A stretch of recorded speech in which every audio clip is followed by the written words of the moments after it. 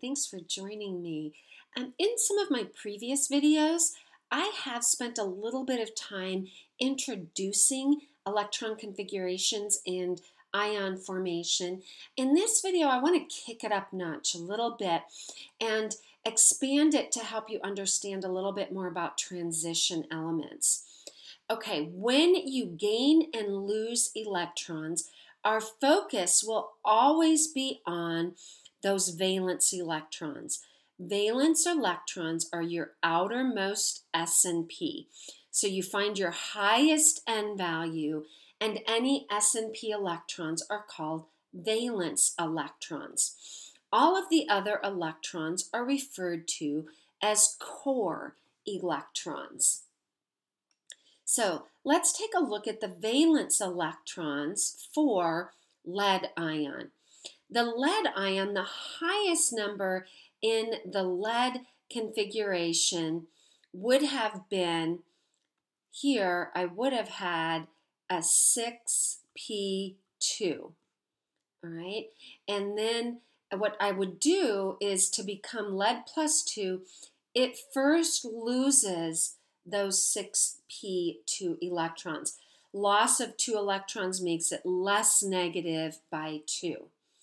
Then the second ion would lose both the p's and the s's. That's shown here. Notice I still have my 4f and my 5d. Um, it's commonly thought that you always lose electrons to the previous noble gas for metals, but you don't really because the previous noble gas is right there. So not all metals will land at the previous noble gas. You have to evaluate their valence electrons. So I lost the S and the P, so that's how you get to have lead 4 plus. Okay? Now, what gets more challenging are the transition metals because technically the transition metals with a few irregular configurations. Copper is an irregular configuration. Chromium is an irregular configuration. If you are an IB, you need to know those irregular configurations. You need to know that even though you would have predicted this to be 4s2, 3d4, electrons are a little elusive. Sometimes they do things we don't expect. You would have expected copper to be 4s2, 3d9. But instead, we see a little jump. And this is all about maximizing attractive forces and minimizing repulsive forces. Okay. Um, so if you are an IB, that is something you do, do need to know. But if you look at all the rest of these, these all have two valence electrons. So one might think if you lose your outer S and P's that you would have all ions that were either plus one if they lost for the irregulars or plus two.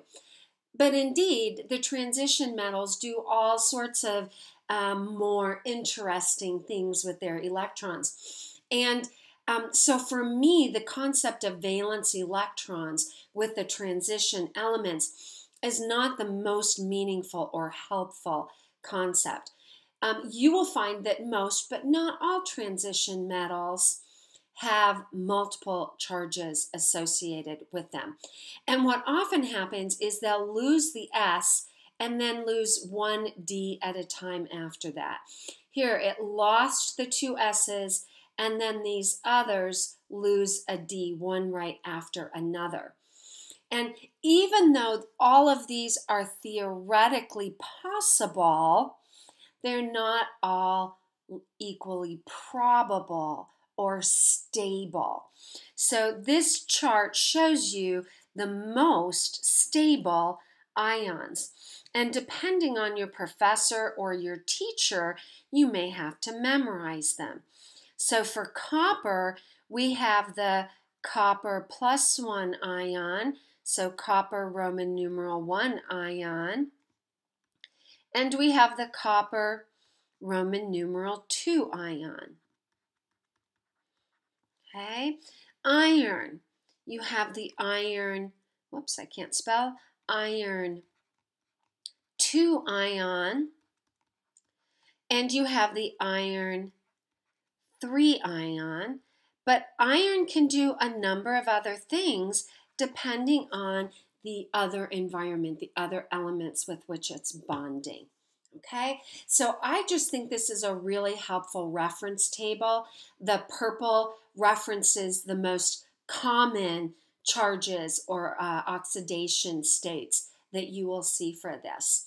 And so I thought for you know AP and college and IB, it would be helpful for you to see how these emerged. Again, losing the S's typically first, and then the D's one right after another. And even though, again, they're all possible, they're not all equally probable.